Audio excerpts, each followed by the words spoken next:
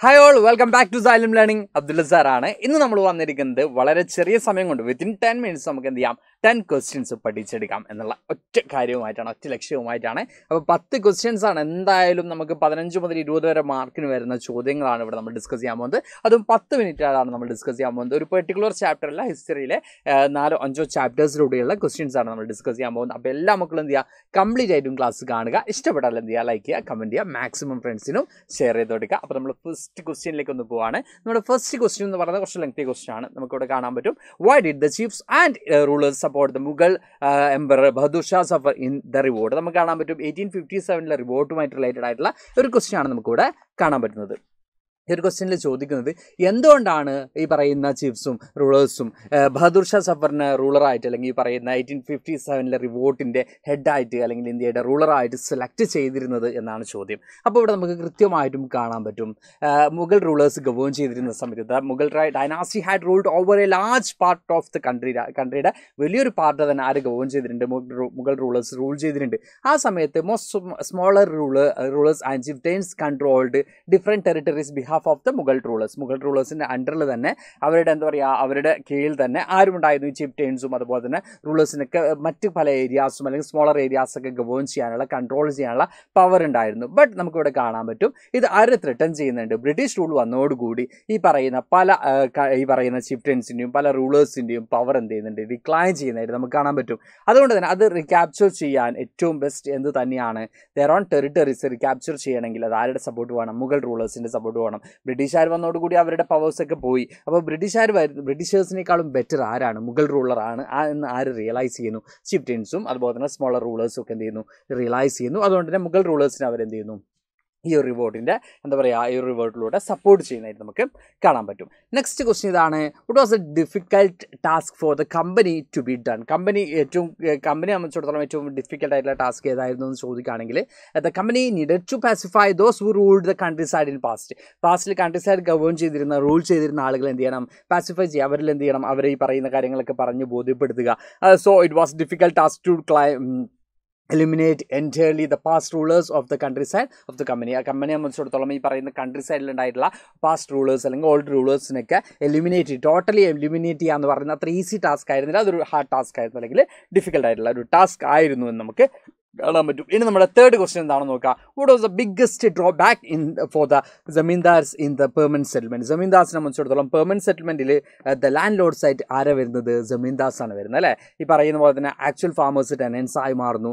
Zamindars became the landlords എന്നൊക്കെ നമ്മൾ പഠിച്ചിട്ടുണ്ട്. ഈ പെർമനന്റ് സെറ്റിൽമെന്റിൽ ഒരു ഫിക്സ്ഡ് എമൗണ്ട് ഓഫ് എന്ത് ചെയ്യണം? ടാക്സ് എന്ത് ചെയ്യണം? ഈ പറയുന്ന ജമീന്ദാസ് ത്രൂ ആരിലേക്ക് എത്തിക്കണം? ബ്രിട്ടീഷേഴ്സിലേക്ക് പേ ചെയ്യണം. ഒരു പെർമനന്റ് ആയിട്ടുള്ള ഒരു എമൗണ്ട് ആണ്. അപ്പോൾ ഈ ഒരു സിസ്റ്റം ജമീന്ദാരി സിസ്റ്റം എന്ന പേരിൽ കൂടി അറിയപ്പെടുന്നുണ്ട്. ഇതൊക്കെ നമ്മൾ പഠിച്ചിട്ടുണ്ട്.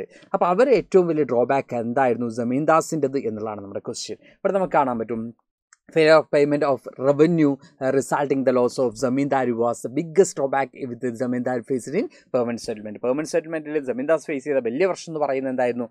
അവർ പേയ്മെന്റ് ഫെയിലിയർ ആകുമ്പോൾ അവർക്ക് എന്ത് നഷ്ടപ്പെടും? ഈ പറയുന്ന ജമീന്ദാരി എന്ന് പറയുന്ന പവർ നഷ്ടപ്പെടും. അവരുടെ ആ ഒരു ലാൻഡ് ലോഡ് എന്ന് പറയുന്ന പവർ നഷ്ടപ്പെടും. ഇത് തന്നെയായിരുന്നു ജമീന്ദാരി സിസ്റ്റത്തിൽ ഈ പറയുന്ന ജമീന്ദാസ് ഫേസ് ചെയ്തിട്ടുള്ള ഒരു ബിഗ്ഗസ്റ്റ് ടാസ്ക് അല്ലെങ്കിൽ ഡ്രോബാക്ക് എന്ന് നമുക്ക് കാണാൻ പറ്റും. Next question was the uh, kalamkari print was created ആരാണ് കലംകാരി പ്രിന്റ് ക്രിയേറ്റ് ചെയ്യുന്നത് എന്നുള്ളതാണ് നമ്മുടെ ക്വസ്റ്റ്യൻ ഓക്കെ വ്യൂവേഴ്സ് ആണ്. എവിടുത്തെ വ്യൂവേഴ്സ് ആണ്? ആന്ധ്രാപ്രദേശിലെ വ്യൂവേഴ്സ് ആണ്. എന്ത് എന്ത് മാനുഫാക്ചർ ചെയ്യുന്നത്? ഈ പറയുന്ന വ്യൂവ് ചെയ്യുന്നത് കലങ്കാരി പ്രിന്റൊക്കെ എന്ത് ചെയ്യുന്ന വ്യൂവ് ചെയ്യുന്നത് നമുക്ക് കാണാൻ പറ്റും. അപ്പോൾ by the weavers of the Andhra Pradesh kalamkari print was created എന്ന് നമുക്ക് കൃത്യമായിട്ട് എന്ത് ചെയ്യാൻ പറ്റും? കാണാൻ പറ്റും. ഓക്കെ അപ്പോൾ ഇത് നമ്മുടെ ഫോർത്ത് ക്വസ്റ്റ്യൻ ആണ്. ഇനി നമ്മുടെ ഫിഫ്ത്ത് ക്വസ്റ്റ്യനിലേക്ക് പോകാം ഡിഫൈൻ ഫെമൈൻ എന്താണ് ഫെമിൻ എന്നുള്ളതാണ് നമുക്ക് ചോദിച്ചിട്ടുള്ളത്. അപ്പോൾ ഫാമിൻ എന്ന് പറയുന്ന സിറ്റുവേഷൻ നമ്മൾ പറയുകയാണെങ്കിൽ extreme scarcity of food is termed as famine നമുക്ക് കാണാൻ പറ്റും. ഫെമിൻ എന്നുകൊണ്ട് ഉദ്ദേശിക്കുന്നതാണ് ഫുഡ് സ്കേസിറ്റി നമുക്ക് കാണാൻ പറ്റും പോവർട്ടി എന്നൊക്കെ നമ്മൾ പറയും അല്ലേ? പോവർട്ടിന്റെ എക്സ്ട്രീം ലെവലാണ് ഫുഡ് സ്കേസിറ്റിയുടെ ഒക്കെ എക്സ്ട്രീം ലെവലെയാണ് നമ്മൾ എന്തു പറയുന്നത്? ഫാമിൻ എന്നതുകൊണ്ട് മെയിൻ ചെയ്യുന്നത്. ഫാമിൻ കാരണം നിരവധി ആളുകൾ മരിക്കുന്നു. അതിനെക്കുറിച്ചൊക്കെ നമ്മൾ പല ചാപ്റ്ററിലൂടെയൊക്കെ പഠിച്ചിട്ടുണ്ട് അല്ലേ? നമ്പർ ഓഫ് പീപ്പിൾസ് എന്താ പറയുക ലക്ഷക്കണക്കിന് ആളുകൾ മരിച്ചു പോകുന്ന സാഹചര്യങ്ങളൊക്കെ ഉണ്ടാവാറുണ്ട്. ഓക്കെ അപ്പോൾ അതാണ് നമുക്ക് കാണാൻ പറ്റുന്നത്. അതായത് ഭക്ഷണം കിട്ടാതെ ഫുഡ് കിട്ടാതെ ആളുകൾ മരിച്ചു പോകുന്ന സാഹചര്യമൊക്കെ നമുക്ക് നമ്മുടെ സറൗണ്ടിങ്സിൽ ഇപ്പോഴും എക്സിസ്റ്റ് ചെയ്യുന്നുണ്ട്. പല രാജ്യങ്ങളിലും അത് നമുക്ക് കാണാൻ പറ്റും. നെക്സ്റ്റ് ക്വസ്റ്റ്യൻ എന്താണെന്ന് നോക്കാം. What were the disadvantage of ryotwari system ryotwari സിസ്റ്റത്തിന്റെ ഡിസ്അഡ്വാന്റേജ് എന്തൊക്കെയാണ് എന്ന് ചോദിക്കുകയാണെങ്കിൽ the revenue fixed by the British officials in ryotwari Valley system was too high for for the farmers ഫാമേഴ്സിനെ സംബന്ധിച്ചിടത്തോളം ഈ പറയുന്ന റവന്യൂ എന്ന് പറയുന്നത് ഹൈ എമൗണ്ട് ആണ് അല്ലെങ്കിൽ ഹ്യൂജ് എമൗണ്ട് ആണ് റൈറ്റ് വാലിയിൽ ഫിക്സ് ചെയ്തിട്ടുള്ള ടാക്സ് എന്ന് പറയുന്നത്. അതുകൊണ്ട് തന്നെ ആ ഒരു റവന്യൂ പേ ചെയ്യാൻ ആർക്കും പറ്റുന്നില്ല. ആ ഫാമേഴ്സിന് പറ്റാത്തൊരു സിറ്റുവേഷൻ വരുന്നു. The farmers who were unable to pay the revenue left the farms അപ്പോൾ എന്ത് ചെയ്യാൻ പറ്റും അവർക്ക് പേ ചെയ്യാൻ പറ്റാത്ത ഒരു സാഹചര്യം അല്ലെങ്കിൽ അവർക്ക് പേ ചെയ്യാൻ പറ്റാത്ത സാഹചര്യത്തിൽ അവർ എന്ത് ചെയ്യും ഫാമിംഗ് സെക്ടറൊക്കെ വിട്ട് മറ്റ് സെക്ടേഴ്സിലേക്ക് എന്ത് ചെയ്യും? ഷിഫ്റ്റ് ചെയ്യും അല്ലേ? അങ്ങനെ ഫാമിംഗ് സെക്ടറൊക്കെ എന്ത് ചെയ്യാൻ തുടങ്ങി? അവർ നിർത്തുന്ന അല്ലെങ്കിൽ ഉപേക്ഷിക്കുന്ന ഒരു ഘട്ടം നമുക്ക് കാണാൻ പറ്റും. അതിന്റെ ഭാഗമായിട്ട് വില്ലേജ് ഏരിയാസുകൾ ലൈക്ക് ഡെസേർട്ട് പോലെ അതായത് വില്ലേജ് നല്ല രസകരമായിട്ടുണ്ടായത് വില്ലേജ് ഏരിയാസ് അവിടെ ഫുൾ അഗ്രികൾച്ചർ ഫീൽഡൊക്കെ ഉണ്ടായിരുന്നത് അതൊരു മരുഭൂമിയെ പോലെയായി മാറുന്ന സാഹചര്യം നമുക്ക് കാണാൻ പറ്റും. Next question seventh question who was James Mill ആരാണ് ജെയിംസ് മിൽ എന്നുള്ളതാണ് നമുക്ക് ചോദിച്ചിട്ടുള്ളത്. നിങ്ങൾ ഹിസ്റ്ററിയുടെ ഫസ്റ്റ് ചാപ്റ്ററിൽ പഠിക്കുന്നുണ്ട് ജെയിംസ് മില്ലിനെ കുറിച്ച്. പിന്നീട് നമ്മൾ എന്ത് ചെയ്യുന്നുണ്ട്? സിവിലൈസിങ് ആ ചാപ്റ്ററിൽ എന്ത് ചെയ്യുന്നുണ്ട്? ജെയിംസ് മില്ലിനെ കുറിച്ച് പറയുന്നുണ്ട് പഠിക്കുന്നുണ്ട്. അപ്പോൾ നമുക്ക് നോക്കാം. He was a Scottish economist and political philosopher and is is known for his book the history of British India British India history of British India എന്ന ബുക്കിന്റെ പേരിലാണ് അദ്ദേഹം എന്ത് ചെയ്യുന്നത്? പ്രോമിനന്റ് ആയിട്ടോ അല്ലെങ്കിൽ ഫേമസ് ആയിട്ടുള്ള ഒരു പേഴ്സൺ ആയിട്ട് നമുക്ക് അറിയപ്പെടുന്നത്. അദ്ദേഹം നമുക്ക് കാണാൻ പറ്റും ഒരു ഇക്കണോമിസ്റ്റ് ആണ്. അതുപോലെ തന്നെ ഒരു പൊളിറ്റിക്കൽ ഫിലോസഫറാണ് ആര്?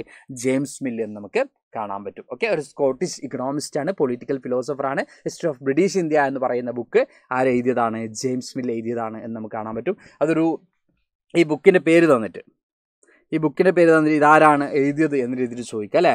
അപ്പോൾ this book was written by James Mill എന്ന് എന്ത് ചെയ്യാം? മക്കൾ കൃത്യമായിട്ടും ഓർമ്മിച്ച് വെക്കാം. ഇനി നമ്മുടെ എയ്ത്ത് ക്വസ്റ്റ്യനിലേക്ക് പോവാണ്. എയ്ത്ത് ക്വസ്റ്റ്യനിലേക്ക് പോകുമ്പോൾ what do official records do not tell എന്നാണ് ചോദിച്ചിട്ടുള്ളത്.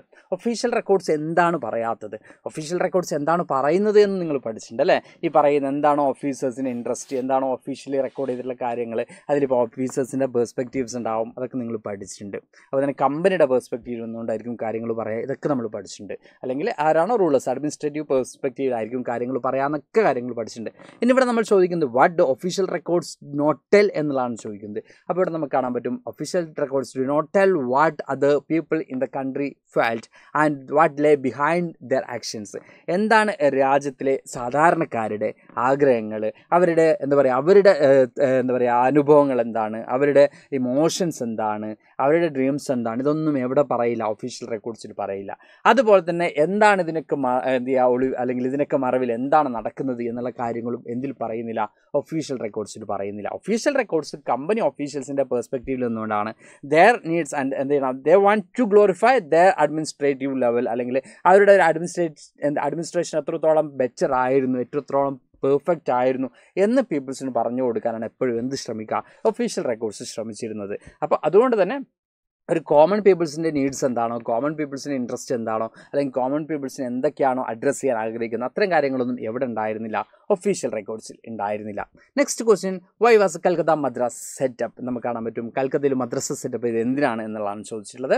ഇവിടെ നമുക്ക് കാണാൻ പറ്റും Calcutta Madrasa was set up to promote the study of Arabic Persian Islamic law അപ്പോൾ കൊൽക്കത്ത മദ്രസ സെറ്റപ്പ് ചെയ്തിട്ടുള്ളത് എന്തിനു വേണ്ടിയാണ്?